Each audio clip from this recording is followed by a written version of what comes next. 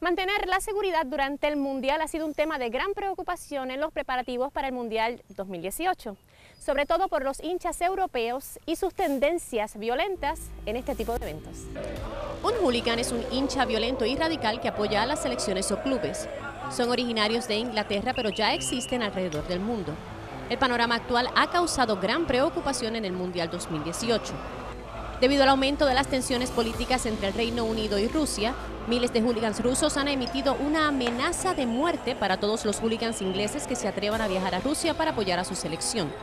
Rusia había experimentado una situación similar durante la Eurocopa de Francia 2016, en la que un partido trajo violentos enfrentamientos en el centro de Marsella entre ultrarrusos e ingleses que finalizaron con 35 heridos y la condena de tres radicales rusos a penas de prisión.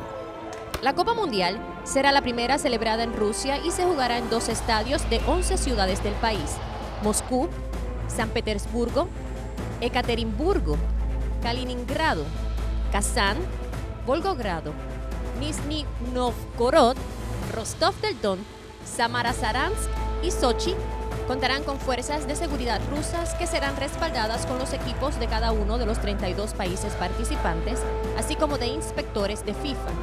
Los hinchas no podrán mostrar banderas en los estadios o utilizar máscaras ni en los eventos ni en las calles.